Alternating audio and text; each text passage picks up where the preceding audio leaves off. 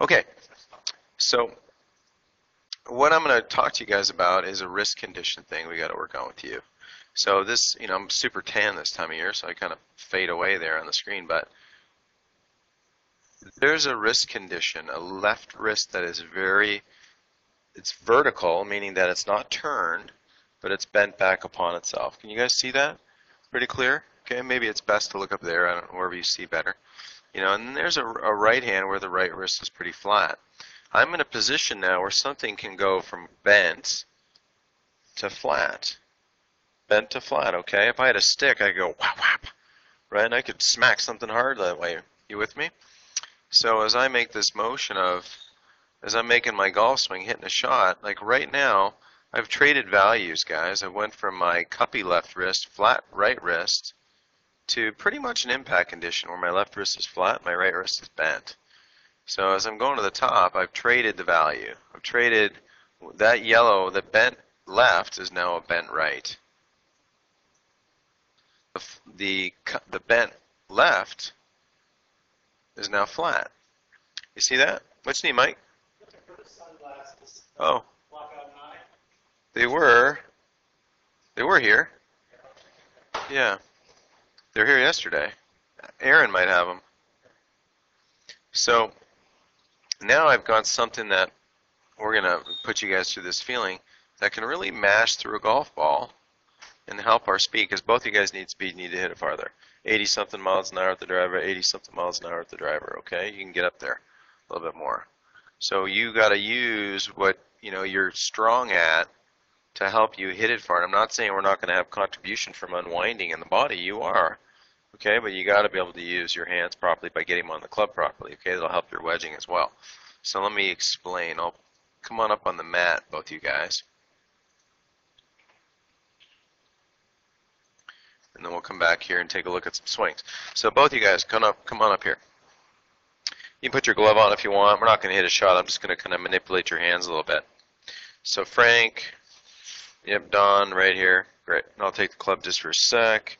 Pretend like you're going to hit a golf ball, though. Kind of give me that, you know, stand over it like you're going to hit one. Put your hands together. Okay, good.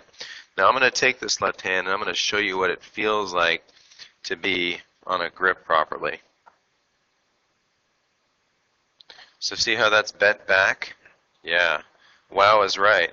Because what a lot of people, now you can relax for a second, what a lot of people want to do, you guys stay there, is they want to have this kind of wrist a little flatter.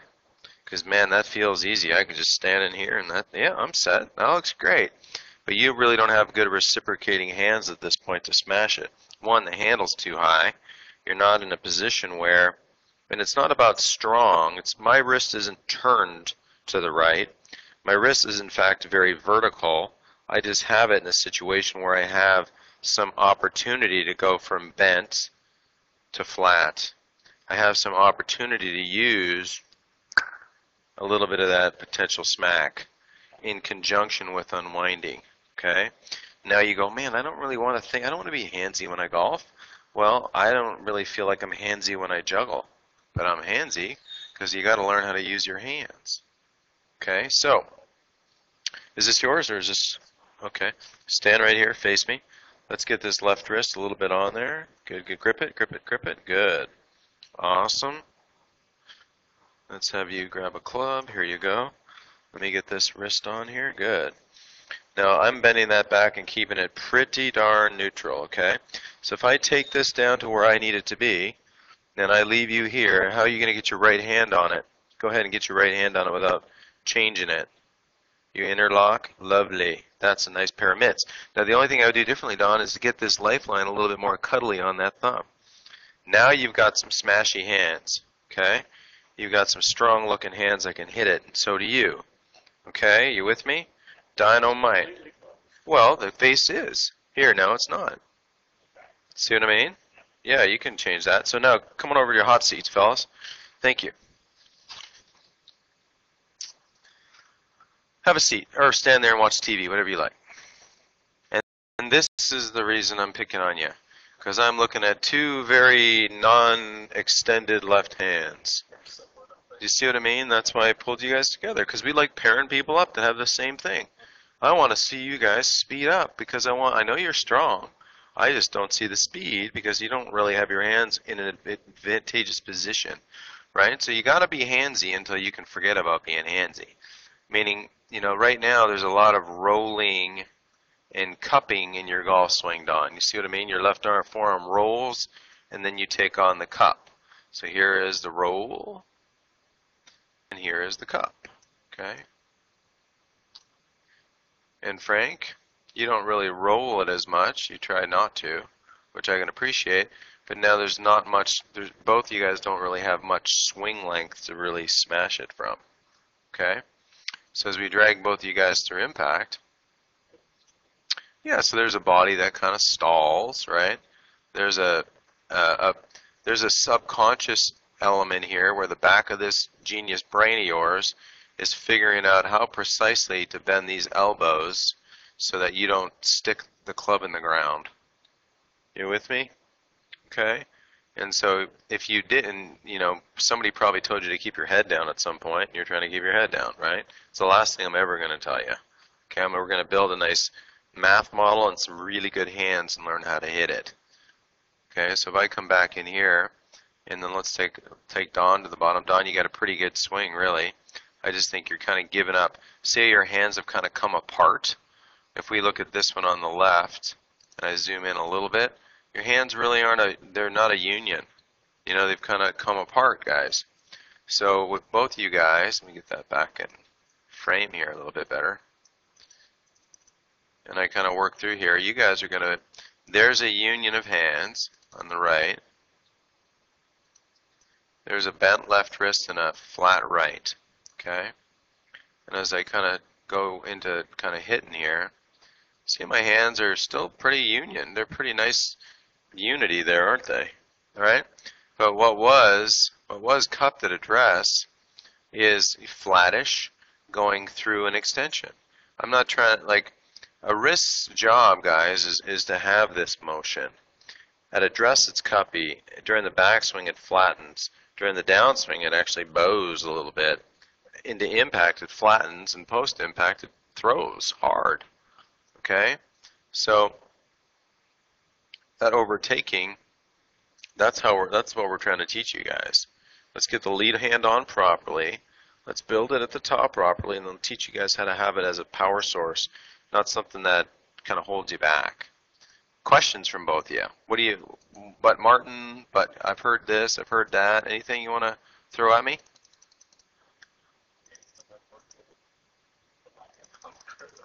Oh, and it, I know, and you know the amazing thing too is that you eh, people come to my golf school play golf forever, and they never, and I'd say 70%, so you're in the majority have never really utilized that perfect grip or the most functional grip. It works. It's just not, not highly functional, okay? So, Mr. You're first on the mat. So when you guys see this video, naturally it'll be this video in both your training spaces just because it's uh, it'll be good to kind of for you guys to kind of play off each other a little bit. All right. So come on in here. Let me build this. And so that's super comfy, right? And again, it's not about turning. It's about you learning how to do this. Relax for a second, and let me take this, and let me bend it back. And I know that feels, and that's going to put a lot of stress in those muscles, isn't it? So tomorrow, you know what muscles you're going to feel? The back of that forearm, because the back of that forearm bends that wrist. And you know what everybody says? Everybody says this, but Martin, shouldn't I have like loosey-goosey hands? And I say, yeah. My hands feel loosey-goosey to me, but does that muscle tell you they're loosey-goosey? Muscle, you know what I mean? We if we weren't casually muscular in certain spots, we'd be, we'd be a blob on the floor, right? Okay? So if I took that wrist of yours and I got it here, and we gripped it, and now you got a perfect left hand, and then I took it to where it kind of needs to be, and maybe scored the face a sliver and got the handle a little lower. Maybe you got to back up a tick. Okay? And now you put your right hand on. Okay, and you pair that lifeline onto that thumb. Good. And so see how you're trying to, and that handles down a little bit more. There you go. Now you have this ability to go like this. And schwack. And this is what a through swing would look like. See how that's a little cuppy on that side? But it would be a little bowie on this side. It'd be a little bowie on this side. And guess what? It would look like an impact, sort of flattish. As the weight of the club's overtaken it, it looks a little cuppy-ish. You see what I mean? See how that, it, it's got to have, you got to be able to go, whew. and if I took a picture of you at impact, it would look like, but as in doing so, there's this motion that has to have mobility in it in conjunction with pivot. Yeah, totally. But if you start off like this, you're taking a lot of your power, wasting it because you don't have the ability to feel. Yeah, you can't use it, right? You're both strong. We just got to get you being strong in the right place. Does that make sense? So here's your, you know, you're gonna like physically. That's why that muscle probably is like that, just because I've, you know, had to bend my left wrist back so that I can take my left wrist. And here's impact, guys. Watch. Look at how fast he kind of get into impact.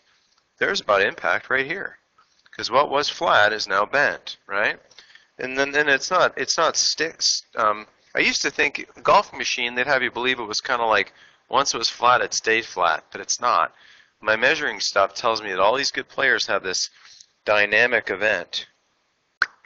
And the ball, when I say that sound, it's because this bowed thing is flattening, boom, and then extend and then cupping like mad on the through swing. Okay, like DJ goes like this to the top. He doesn't hit it like this. He hits it like this. You see what I mean? Yeah, massive whip, but you got to set that left hand in correctly to do it. That's going to feel weird, and you're going to resist me. I get it. Okay, because you can't help it. It's just how you've been, right? If you need another band-aid for that little thumb of yours, you might get ahead of the game. Give me that hand. Get that, you know. Resistance is futile. That's right. There you go. Love that show. Get that right hand on there. Cuddle that thumb. Good, good, good. Good.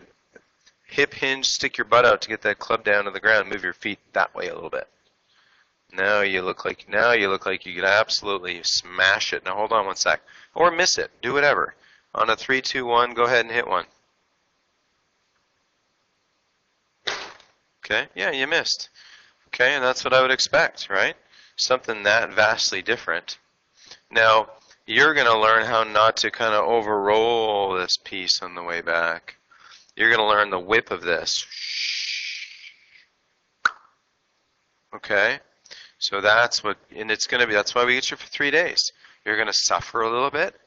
You're going to hit a couple good ones. You're going to, wow, that was pretty good. You're not going to be able to do it very often. But you're going to start to go, ooh, that felt good. See what I mean? That's what we want. You'll do one good one, and then two bad ones, and three bad ones, and another good one, then maybe two good ones, and then three bad ones. And then you'll start to get in a trend that's better. Make sense coming up, Frank? So here's how you practice this, right? Just kind of feel. There's a vertical wrist, not a turned wrist. I don't want this, right? I want a vertical wrist, but bend your hand back. Make a and bend it back and make a fist. Yeah. Stylish fist, a golfer fist. Good. That kind of goes in front of you. Good. See if you can't grip that thing a little farther down the grip.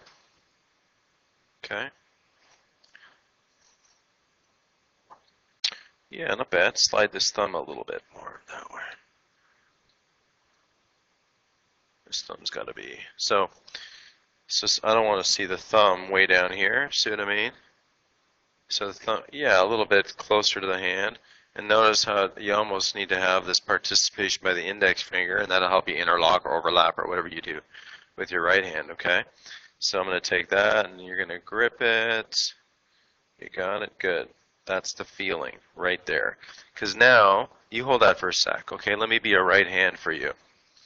I'm going to be your right hand. There's a right hand. And you want to interlock. I don't want to interlock. I don't like interlocking. Okay? Because inter- everybody does this to interlock. They go way too deep, and they can't really get their right, their right hand on in this perfect spot. So now you twisted that face a bit too shut, but now here's power. Watch. You see what I mean? Yeah. And yeah, and now when you unwind yourself, start to unwind your pelvis. Blam. You see what I mean? Yep. You getting what I'm cooking? Good, good, good. Okay. So Let's see, that would be bent low. Very good. Club would be here. Perfecto. Put that right hand on. If you interlock, that's fine. Awesome. Okay, hang on a sec. Good, go ahead and smash one for me. Okay, good try. Feels super awkward, I get it. Come on over.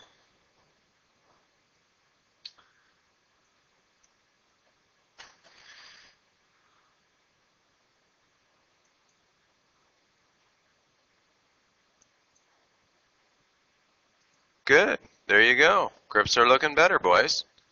I like it. Okay, you both laid the sod over it because you don't quite know what to do from here. Right? You're trying to stay down still. You're going to learn how to not stay down. You're going to learn how to. Why would you ever want to stay down if you don't have room to stay down? You want to learn how to let your left shoulder go this way, up, while your right shoulder goes this way, down. Okay? Don looks good pretty darn, and both of you kind of have the same, that's why I kind of paired you both up, right? Because take a look, if I, if you take a look at that, you know, while something's coming down, everything about me, watch my legs, are straightening. I'm getting taller, my left shoulder is getting farther away from the ground. Club's the only thing still going down. That's the only thing still going down. It's going down to the bottom, overtaking and going up to the top, okay? So you'll never hear me tell you to stay down. I may tell you to side bend more. I may, you know what I mean? I may, but I'm never going to tell you stay down because staying down is why golfers really struggle because they have the misbelief that that this is important. Want to see a trick shot? Watch this. I will top it up into the ceiling or thereabouts. Okay, I'm going to stay down. Watch.